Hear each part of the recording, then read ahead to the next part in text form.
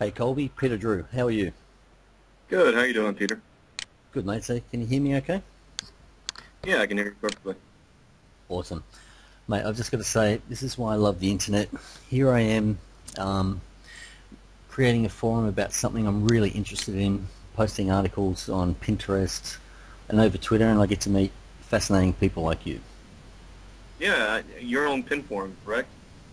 Yes. Yeah, uh, I've actually been uh, seeing a, a good bit of traffic from there. I was going to post something last night, but there was a little problem with the uh, autoconnect from Facebook, so I wasn't able to. Oh, oh, I wasn't aware of that. I'll, I'll, I'll get my guys to look into that. Yeah, so I, yeah. I, was, the, the for, I thought the forum would be a good place to to create like a central hub for everything related to Pinterest, and um, it's getting a bit of attention, so that's cool. Yeah, it's definitely, you got a great URL. Um, shows up great with the search results, so you got a good thing going there. Actually, I only checked it last night. I checked uh, Pinterest forums. I haven't done any SEO work on that, and it's listed number eight already, so that's very cool. And that's just all from social links, you know, Twitter and Pinterest, pretty much. So that's pretty cool. Have you done any work to your title tags or meta or anything like that? Yeah, yeah, yeah, just the title tags. Yeah, that's.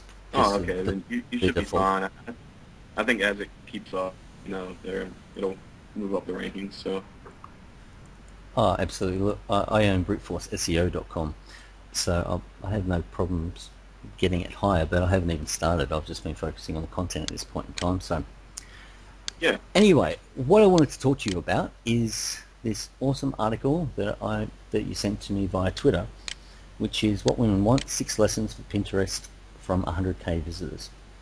First of all, I Yeah. want to say I learnt, you know, I've been studying Pinterest. It's been in my awareness now for probably five or six weeks, and um, look, I've been making money on the internet since 1995, Yeah. and I got t- I love this article. Honestly, there's so Oh, much. you. such a quality article. I love the way you write, and I love the content. It was really nice. So I'm really happy to be talking to you now and sharing all this stuff from your article with all of our listeners. yeah. Um, I, I've I've been writing basically my entire life. Uh, got my Oh, degree right. in yeah, I got my degree in journalism. Uh, Oh, I, I, Oh, read all the Pinterest articles and I've read everything that the marketers have been saying. It's all, you know, they, they just regurgitate all the information and all the content. You hear the same thing over and over again. And being an SEO guy and, and somebody that's been doing viral marketing for 10 years now, I feel like Mhm. that I can give that a, a different viewpoint of what it, what Pinterest means at this point and how you can better take advantage of it than what everybody else is spelling out at this point. So that's what I've been going for. absolutely. And look, you did a great job because, as you can see, I'm trying to fill up that um, pinforums.com forum with articles. So every morning, I go to Google Plus and refresh my refresh my search for Pinterest. I go to uh, Twitter and refresh my search for Pinterest. That's where I get all my content from.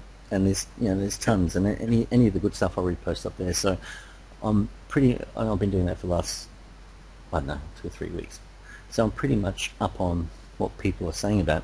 But this is the first real like um, content information how to article um, and it, it's awesome um, so can, can you give us an overview of, of the article Uh, yeah, I, I, I'm the same way you were. Um, my girlfriend started a small boutique site about uh, two months ago, and it was Mhm. getting, you know, 10 to 30 visitors a day organically, uh, basically through Facebook, Twitter, LinkedIn.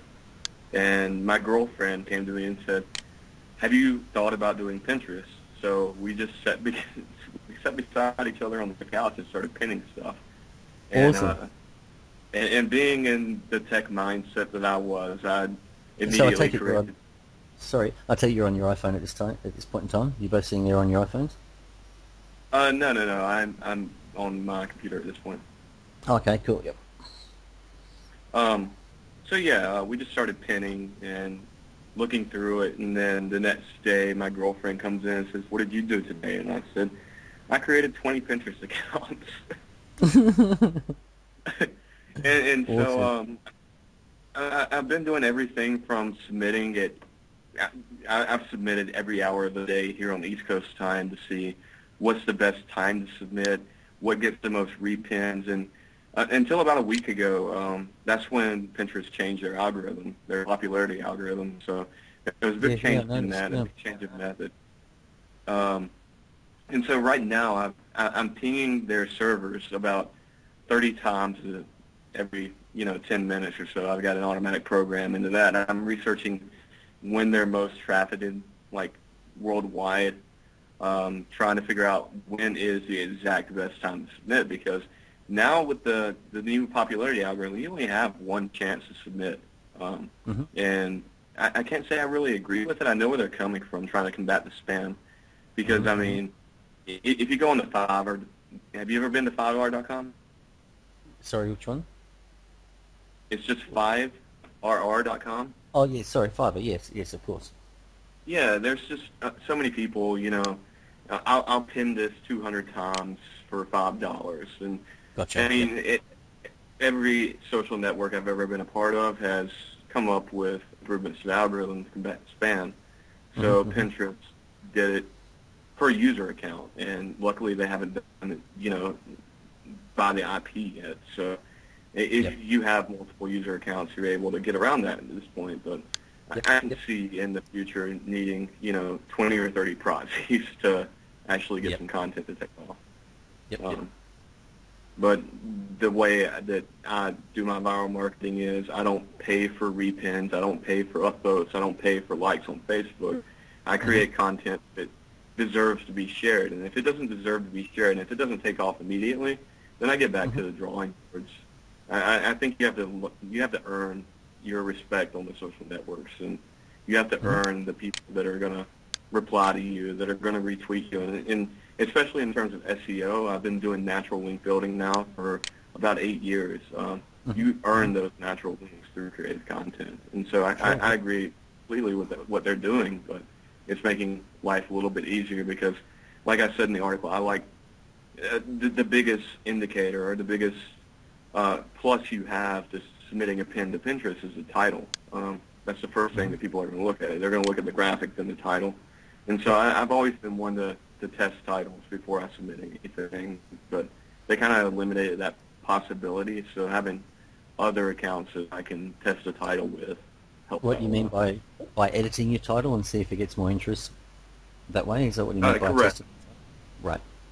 Yeah, correct. And I use Reddit for as a, Reddit's a good indicator if your title will work or not right now. So Okay. I, I do. Oh, awesome. I haven't heard of that. That's great of you. Yeah. Um, And so you said to your girlfriend, yep, I've made 20 accounts. So you made 20 accounts across different niches, I take it? Um, uh, yeah. I, actually, I've had a lot of success in creating novelty accounts on Pinterest. Have you ever heard of those? no. Uh, novelty accounts, they started off on Reddit with, uh, well, the first novelty account was uh, which was a guy that was basically pouring himself out for karma. And then from that came, uh, I hate to be uh, not safe for work right now, but there was a Mhm. uh, novelty account called Relevant Rule 34, where Right. Relevant Rule 34 stands for if it exists, there's a porn for it. And so the guy would just the guy would just go into to uh, Reddit forums and Reddit Yeah. account or Reddit comments and uh, and somebody would go like, oh, there's a it's like a del- or an elephant and a donkey and Rule 34 would go, here's an elephant fucking a donkey. Oh, no way. And so uh, the the guy uh, gained almost 500,000 comment karma within a year, and became one of the most famous people on Reddit. And they're called novelty accounts because they just uh, it, they evoke.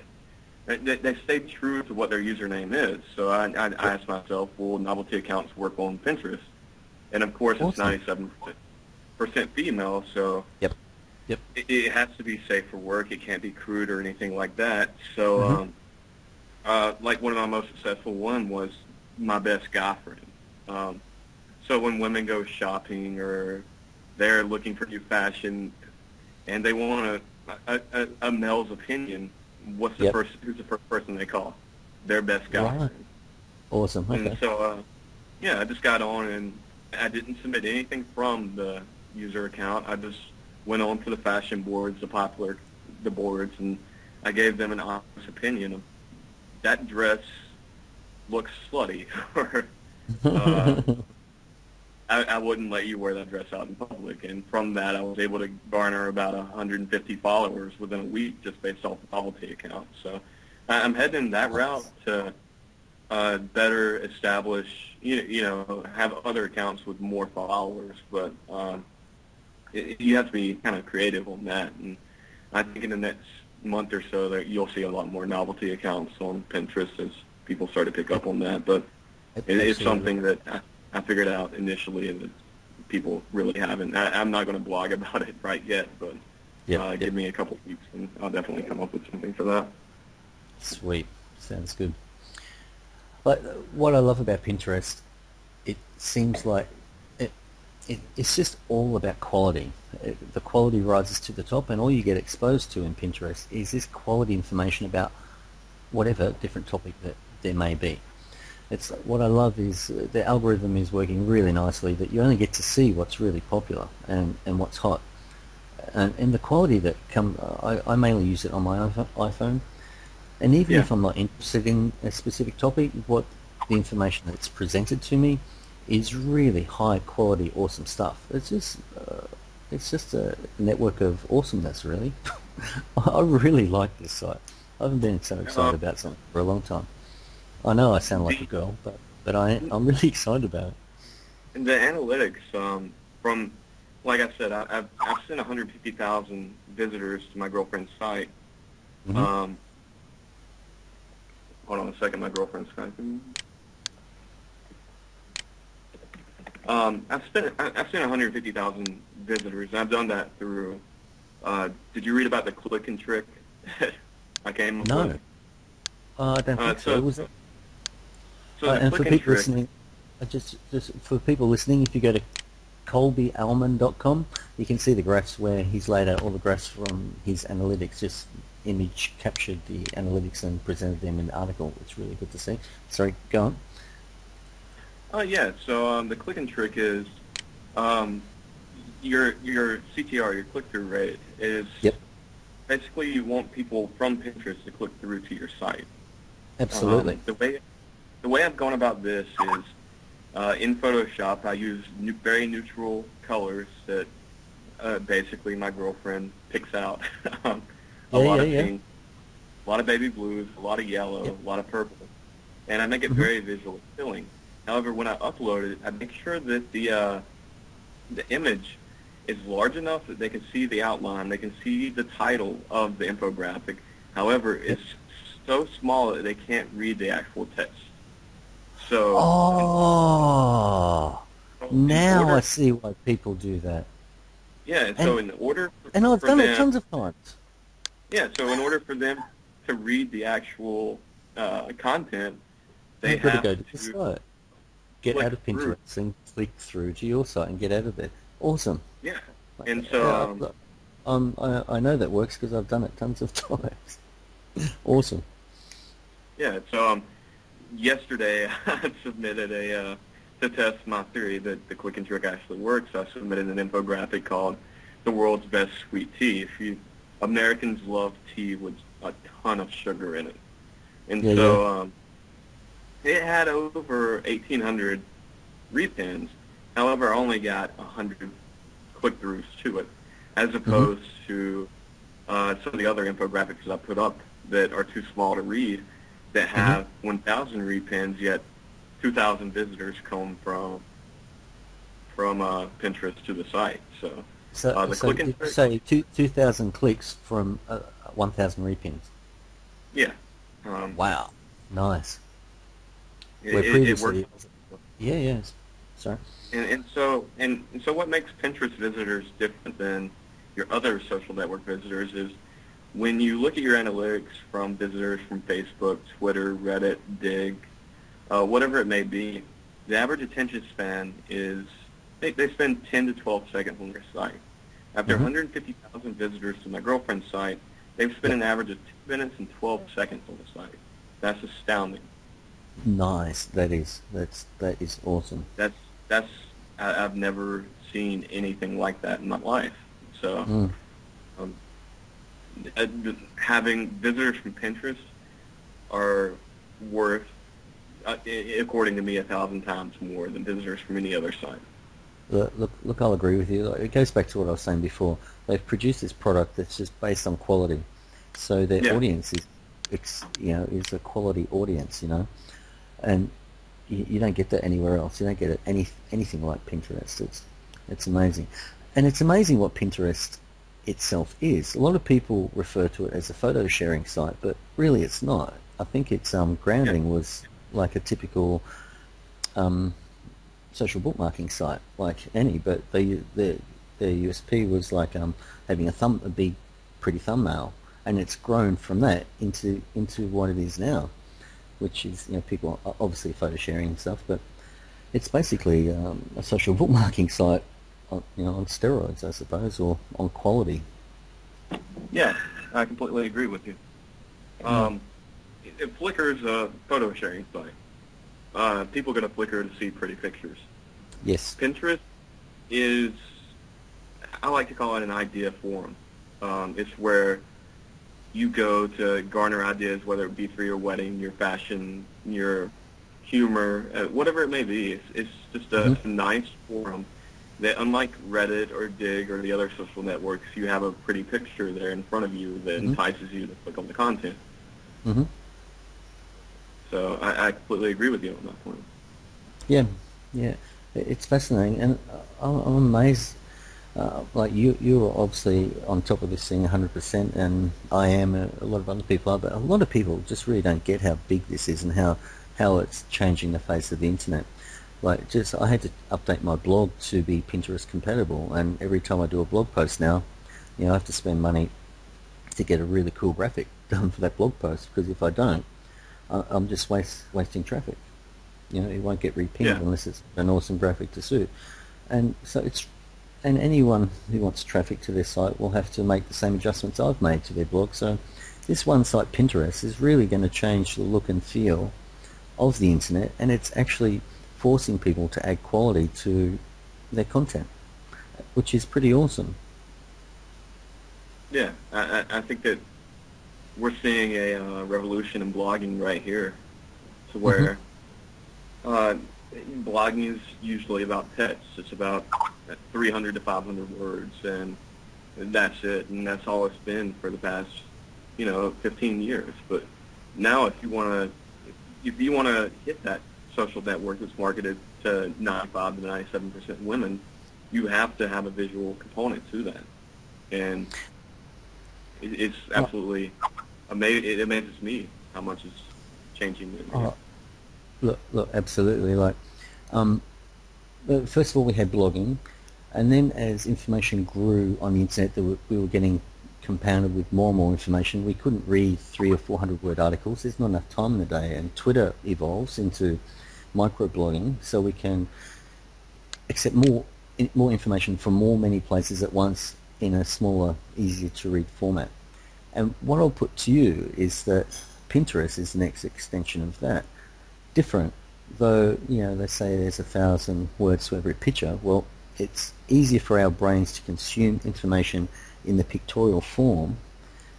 And um, I, I got that understanding where I've written some software where at one stage it was liking um, uh, a lot of pins randomly, and I, forgot to turn it off. And my personal account had um, 1,700 likes on it, generated purely randomly from software on my personal account. And so I was going through it, and I thought, whoops, you know, what have I done here? But my software, my software um, randomly chose 1,700 pins. I'm going through it on my iPhone, and all of it was awesome. there was only a couple that didn't look spectacular. So Yeah. the, the amount of quality in Pinterest is astounding. But what I noticed is I'm scrolling through 1,700 um, little images on my iPhone, and I'm consuming all of that. The amount of information I consumed going through that process was astounding. and so I'm really getting that um, it's kind of the next extension of Twitter in that you can get more information from pictures than just words. It's easier for our Yeah. brains to handle. I hope that makes sense. Yeah, it exactly does. And um, I, I, I guess here's another. I haven't done a blog post on this yet, but you have to go into the human psychology in order to stand out from all Yep. of that information. You want to be that one pin that stands out from everything. Mhm. hmm Um, and so I hope you don't mind me going into this right quick, but um, No, no, the color spectrum. What's what's the longest wavelength on the color spectrum? I don't know. That is red. Red is the most visible color on the spectrum. That is Wow. why stop signs are red. That is why the stoplight is red. Uh, it has right. the longest wave, it's the lowest frequency, and that is the most your eyes subconscious, subconsciously drawn to red more than anything else. So Wow, in, this plethora, in this plethora of thousands of Pinterest uh, pictures and uh, postings and pins, I always make sure that one element of my posting is red because whether they like it or not, the human brain automatically perceives the red before any other color on the spectrum. Uh, the blue and purples being the fastest in frequency and the, the shortest wavelength, uh, they'll be Mhm. noticed less. However, if it's red, it, it stands out, and the users are automatically drawn to that. So, uh, to anyone looking to make custom, you know, uh, graphics for their pins or anything like that, I would highly suggest having something in red in there. And I've always done that. hmm Awesome. Yeah, well, I'm looking at your blog page now, and the first thing that pops out is the follow me on Pinterest button because it's there in red. So Yeah, there's I it's in red. agree 100%. Yeah, yeah. And uh, Now, I wish I could show you my heat map to the site. Uh, I basically Oh, okay. track every every mouse position and where the mouse goes on my site, and uh, to that red button is the first place they go nearly always. Well, well, I'm thinking that we're going to have to continue on this conversation again in another couple of weeks so we can share what we've learned in the last couple of weeks and share that with people. M- And maybe then you can show me, have um, that heat map up on your blog and we can share that with everyone. That would be very cool. Yeah, that's definitely something that I've been uh, been wanting to put up for a while, um, just to show users how the color red can increase your repin and stuff like that. I've done a lot of testing on different colors, especially through pinning, and what works the best. Oh, excellent. Now, there's one question I've got about your article that I didn't understand. Um, you were saying something about other using the people use other people's stuff, and eventually you'll get caught out. Um, Yeah. And some people don't give credit. What I don't understand is how you do that. Are you referring to repinning other people's content, or and and I don't understand how you give credit. Like, for example, do you mean I repin your stuff, and then in the comments say I pinned it from Colby? Is that what you mean? I Uh, just- no, I- I'm talking about uh, bloggers stealing content from other blogs and repinning that. For Oh, their, yeah, oh, so their, so that'd be like me going to your site, ripping your stuff, putting it on my site, yeah, correct. And, And- I, I, I and- don't agree with that at all. And so and I'm, I'm, I'm, yeah, I'm, I'm giving two thumbs down to that, and eventually somebody will catch on to you and call you out on that. And it could, in the So- long run, affect your, Sure. you know, Sorry, I- I wasn't sure if you meant of, of with doing that within the Pinterest system itself. So, no, okay, I got that cleared up. No, my my ideals is create content that's new, create content that's never been done before, make it Mhm. interesting, make it pretty, and it'll go a lot longer ways than anything else somebody else's site. Yeah, absolutely. Uh, did you read that article on my blog about um, Pinterest and Instagram? No, I haven't yet. Um, you can give me a rundown of it. Well, I, mean, I I suppose I came across uh, Instagram and um, Pinterest at the same time. Uh, Insta- Instagram. Do you have Instagram on your phone? Uh, no, I don't. I usually stick to one social network at a time when I'm studying, so I haven't had a time to play around with that. Just a quick rundown on Instagram. In that, there's uh, around six thousand camera apps on iTunes. Instagram Yeah. is by by far the most popular, and it's I think it's already got past 10 million users. That was about a month ago, so it might be 12 or 15 now. It's very very popular. And what's good about it, it turns average people like me into awesome photographers. I take photos Yeah. of my daughter, and honestly, they are awesome. so, so obviously, any any app that can turn someone into a great photographer by supplying really awesome filters, and combining it in a social network space where you can share your stuff with family and friends socially, yeah, it's awesome. What I really like about Instagram is their API is really open source. So they share everything. And a really good example of that, of people using the API, is uh, Black Eyed Peas. At their, one of their last concerts, they told everyone in the audience to take photos with Instagram and use a hashtag. So it uses hashtags like you know Twitter and Google Plus, etc., etc., and Pinterest, which a lot of people don't understand hashtags in Pinterest, but so use the hashtag, I can't remember what it was, Black Eyed Peas or whatever, and they had huge multimedia screens throughout the concert. So people are um, taking photos with their iPhones using the hashtag, and it's popping up throughout the throughout the concert. If that's not awesome, I don't know what is, man. Oh yeah, I- I, definitely know what you mean through that. Have um, Have you ever heard of OKGo, uh, the group from the United States that produces all the viral videos? They don't have a record label, they don't have a producer or anything like that. No. Um, so what OKGo did was they dropped their entire label, but they make viral videos, and that's all they make for their music videos. And they do a very similar thing. I was at a concert uh, last year that where they put the uh, RFID tags on the screens and said, take Mhm. a picture of this. And so you just took a picture of that and it tagged you at the concert. And uh, uh, if you were tagged at the concert, you can go to the booth later and buy one of their CDs for like three dollars or something ridiculous like that.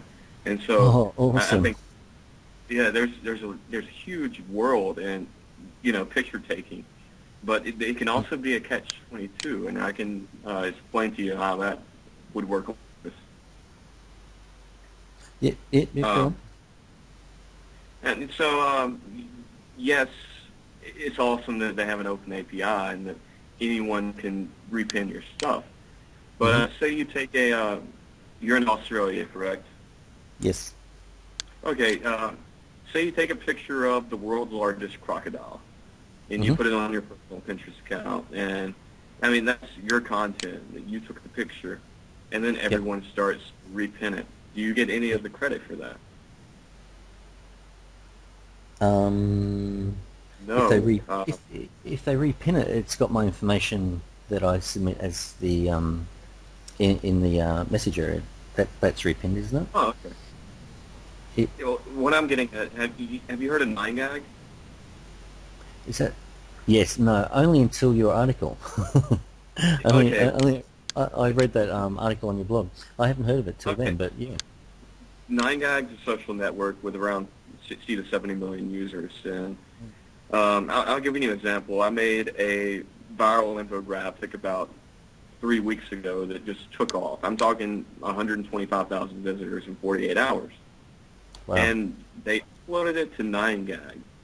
And, uh, and so 9gag has my infographic up on the site. However, they cropped out my name, my girlfriend's site's name, and took oh all the credit.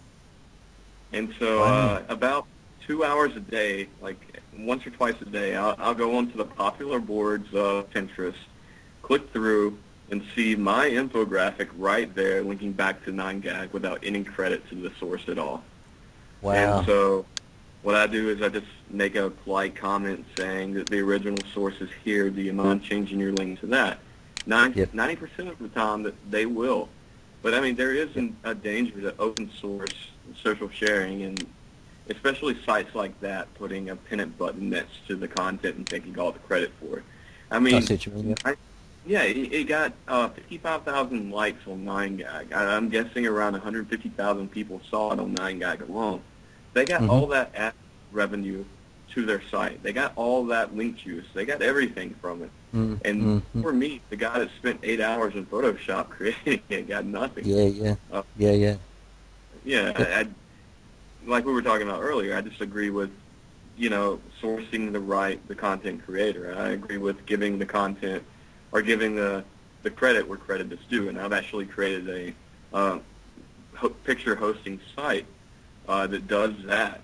And so uh, I'm all for it. it. Think of me like the the music industry. I'm anti-piracy against pictures. Um, I, Yeah. I've spent my life creating content, and I just hate to see people ripping it off and getting the credit for it. hmm Absolutely. Yeah. I, I suppose for for a professional person with photography, for me, um, as a complete amateur photographer using uh, the Instagram app, um, it's it's a different world. I'm just happy for more people to see it. I'm, I'm not looking for credit as a social user, you know. Um, to see my images up uh, in a concert, or, for example, would be awesome. But yeah, the- it's actually funny you mentioned Imgur. I'm actually Imgur's largest competitor right now. your pardon? Uh, I, you said Imgur, the image hosting site? No, no, no. uh, Sorry, I, I meant Instagram. Like while using oh, Instagram. okay. Instagram. Yeah. Yeah, I, I, okay. Uh, well, one one thing that really caught my attention in Instagram was um, there was always these two girls who were in the favorite section of Instagram, uh, like like- Pinterest. It's got one favorite section. There's cream rides to the Yeah. top, and so I checked out their account, and um, they're a business called Sabo Skirt. S O S A B O skirt.com, and Yeah. and they had um, at the time fifty thousand followers on Instagram. I thought, wow, this is this is awesome. You look at their photos; they're really good quality photos of of skirt of different uh, female apparel, and they always had around two to three thousand likes. And so I kept following them, and um, they were growing at seven thousand followers a week, and their their website is exposed um, in your in their profile. So I would put you there running their entire um, fashion business from Instagram, which is awesome. These two young women who look like they're in their early twenties, creating um, physical content in terms of clothing, taking photos of it on Instagram. People are really digging it, and they've got uh, a massive following. I think they're um, up over eighty thousand followers now, and the more followers they get, the more it just grows exponentially, of course. So a, Yeah. a lot of parallels between um, Instagram and Pinterest. Yeah, it, it's, it's it's a subconscious effect. If you see a Twitter account with 100,000 followers, what's the first thing you're going to do? Mm, You're going to follow. absolutely. Yep. Yeah, and And So, uh, interestingly, those, those girls, their, their content would be awesome on Pinterest, though I've searched for them a couple of times and they're not on there, which um, amazes me. Maybe they're doing what you do, focus on one social network at a time. well, you only have time to focus on one. That's that's the point. Mm. Uh, just give it all you got. And um, if you're like me, I'm trying to make an impact in the uh, the Pinterest marketing world and giving people insights that they've never seen before. Yep, and you certainly did that today, my friend. So how about we get together another couple of weeks and um, continue on this conversation, and we'll leave it there because people's time is important. We can't take up their whole day raving on about stuff. And we'll get back together in another couple of weeks, huh? All right, that sounds great. Sounds great. And so that's Colby Almond, C-O-L-B-Y-A-L-M-O-N-D dot com. Thanks, Colby. Talk soon, mate. All right, thanks, Peter. Thanks, mate. Bye.